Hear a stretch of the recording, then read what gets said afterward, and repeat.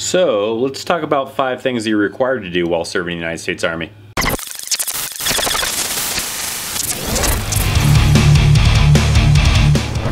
What's up friends, I'm US Army veteran Christopher Chaos and in this video we're talking about five things that you're required to do in the United States Army which was inspired by the great response that you guys gave me with the five things that you're not allowed to do while in a US Army uniform.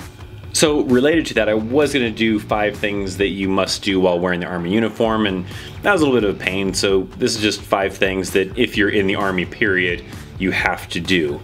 And some of this stuff may transfer over to other branches. I'm not gonna go into other branches. This is Army specific, so if it transfers to other branches, cool, but I'm talking about the Army because I was in the Army. So some things are obvious that you have to do if you're in your army. You have to shave, you have to keep a really close haircut if you're a male. You have to salute officers and all sorts of other things. But these are just five things that I handpicked because I figured maybe it'd be things that to someone who never served in the military at all would think were strange that you have to do. Now, if you watch a lot of war movies, a lot of military movies, you pay attention on military stuff, then they may not be that strange to you, but for some people, it might be. So this is really in no particular order, but we're gonna start off with the first one. So on an army installation at 6.30 in the morning, they raise the flag, or they call it reveille. And then at 5 o'clock p.m., they lower the flag, which is called retreat. Now, for soldiers, regardless if you're in uniform or not in uniform, and you are on post and you happen to be outside during one of these two events, then you are required to stand at attention and render salute to the flag. Now the way that works is there's speakers all over posts. There's these loudspeakers that are playing the song that plays in the morning at 6.30 as well as the retreat song that plays at 5 o'clock p.m. I'm not sure if those times vary to different posts. I'm pretty sure it's pretty much universal 6.30 and 5. But when this song is playing, then a soldier has to stop whatever they're doing, stand up, face the direction of where the flag would be or they believe the flag is.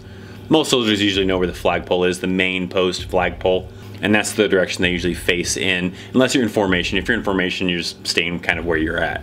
Because obviously at 6.30 in the morning soldiers are doing pt so sometimes we do this in the morning during pt so they would face the direction of the flag maybe the direction of the music and render a salute. When the song is done playing then they can drop their salute and continue on there was even like a controversy a while back of this female soldier that was like recording herself hiding in her car during either reveille or retreat. I don't remember which one it was. And this led to this big controversy. That's not something you're supposed to do. You're supposed to get out of your car, salute the flag. Uh, you're not supposed to like run indoors to try to avoid it, even though a lot of people still do this sometimes. Well, not, I wouldn't say necessarily a lot of people, but there are people that do this. But the respectful thing is to just stand there and render salute. Now, additionally, I believe civilians are supposed to stand there and kind of put their hand over their heart during the time frame, but that's not really going to be enforced, really. But a soldier is going to be enforced to salute the flag during the morning or the evening when they're raising or lowering the flag me being a veteran, I uh, don't really like put my hand over my heart, but I feel weird saluting, so a lot of times I just stand at attention and face the music if I happen to be outside during any of those times. Next up we have the second thing that's kind of crazy that you have to do while serving in the military and that is remove your headgear at least while in uniform. For some people, this may be common courtesy. A lot of people just do this as civilians anyways, but some people may be surprised to know that, or maybe not surprised at all, I don't know.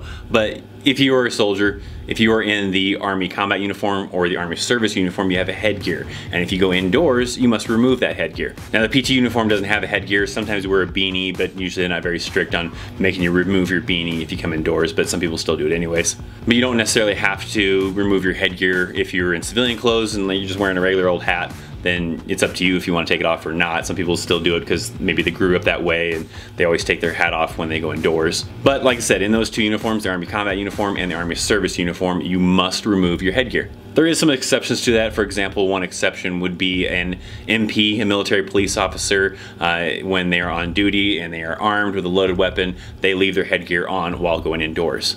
But if you don't fall into any of those exceptions, then when you go inside, you must remove your headgear, and then when you walk back outside, put your headgear back on. That kind of goes hand in hand in some ways in, in, the way of going indoors, you have to remove your headgear and you can't be wearing headgear indoors unless you fall in those exceptions. And then when you're outdoors, you can't be walking around without your headgear. You have to have your headgear on. Now we move into the number three thing. Now if you see my video talking about how vacation works in the Army, you may be familiar with this one as you must inform somebody if you are going to leave more than 250 mile radius of the base. So this means no spontaneous road trips, spontaneous vacations. You pretty much have to plan it out in the Army. You have to give somebody notice that you're going to be outside of a 250 mile radius from the post. Those come usually in two different forms, usually either a mileage pass or a leave form. So if you're going on some kind of official vacation, you're gonna be gone for a week, you know, two weeks, whatever the case might be, then you put in for leave. If you're just gonna be gone for the weekend to somewhere that is outside of that 250 mile radius, then you have to put in for a mileage pass. And that gives you authorization to be outside of that. There are times when soldiers say, uh, screw that, I'm just gonna go and, you know, press my luck, I guess. That's not recommended. That's not what you're supposed to do. That is against regulation, and you have to let somebody know by either putting in one of those two forms to tell them that you're going outside of the 250 mile radius of your duty station.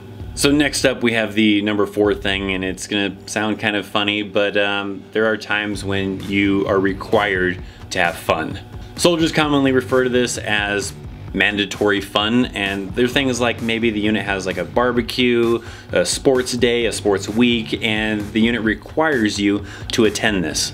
For example, like on Fort Carson, they have a week called Kit Carson Week where they have a bunch of sporting events and they have units going up against other units and they're all battling for, you know, the best unit in softball, in flag football, in soccer, whatever the events are and you're usually required to participate in one of these sporting events. And then at the end of it, you have this big barbecue, this big kind of get together where they do the awards ceremony, and you're required to attend that as well. So that's kind of required to have a little fun and like I said soldiers will often call this mandatory fun. But the units do this to try to build morale between each other so that you have a little bit of cohesion within your unit maybe you and your battle buddies which I'll explain that here in a little bit as well. But that's really the intent of it not just to be mean and force you to have fun and you're like I don't want to have fun. No it's to try to build morale within the units but yeah it is essentially trying to force people to have fun so now we'll lead into that fifth thing, and that kind of goes back to what I was talking about with battle buddies. And essentially, that means that the Army kind of requires you to have at least one friend.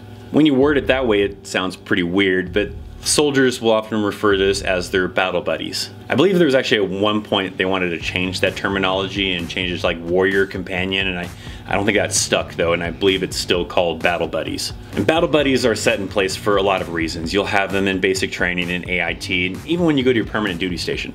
Now, that doesn't mean that you always have to hang out with this battle buddy person and they have to be your best friend or anything, but you are gonna have to have somebody that is considered your battle buddy. So like in basic, you know, you're not allowed to go anywhere by yourself. You have to go in groups of two. So they're going to partner you up or make you partner up with someone and have a battle buddy. So if you have to go somewhere, you have to take a battle buddy with you. Same in AIT. You know, if you're getting some special privileges, some authorization to go off post or maybe to do some stuff at the PX on post or whatever, they don't want you doing that stuff solo either. You have to go with a battle buddy. And then when you get to permanent duty station, they still usually want you to have some sort of battle buddy. This is usually maybe in the form of a little card that you have to keep in your wallet that has their phone number on it. And if you're off post and you get in trouble, you've been drinking and you can't drive, then you can call your battle buddy. Or even just other things that are going on on post because they want you to partner up with someone, have a battle buddy to accomplish things with. And even really on post, they don't really want you doing things solo. I mean, they're not going to stop you anymore because now you're, you know, permanent party soldiers, you're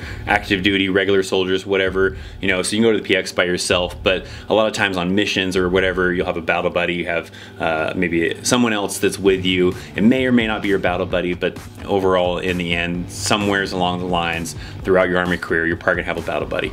Hell, even the first sergeant and commander have battle buddies. Usually it's each other though, but even usually they higher ranking people have at least one person that is considered their battle buddy. So if you're hoping to be some lone ranger in the army, probably not going to happen. You are still going to get stuck with a battle buddy. You might not like that person, but you're going to have to do things with them. So it, at some point in time, you're to have to at least get along. Otherwise, you're going to have a rough time. So there you go. Five things that you're required to do while serving in the United States Army. Now, yeah, I could probably reword those and they could just be five more things that you're not allowed to do in the Army. Like if I was to word it that you're not allowed to wear headgear indoors, then sure, this could be a not allowed thing. But that wouldn't be any fun. So that was why I renamed it and it's five things that you must do while in the Army. But my current Army viewers and veterans, if you want, leave a comment down below. What's something that you think is kind of crazy the Army requires you to do that would be strange to maybe a civilian outside of the military? And for my viewers who are not yet in the Army, maybe just interested in the Army, whatever the case might be, leave some comments down below of which ones you think are pretty crazy and why. So you can find some more cool stuff in the description down below. I've got a P.O. box. I've got a link to a lot of the camera and equipment that I use and things that I recommend. You also find the link to pick up one of these awesome Chaos t-shirts. And then of course, if you like the video, make sure you hit that thumbs up button. And then right over here, we got some recommended videos that YouTube says that you should watch from yours truly. And if you're not subscribed to me, then you should hit that subscribe button right now. Right now. Thanks for watching. I'm Christopher Chaos. I will see you next time. See ya.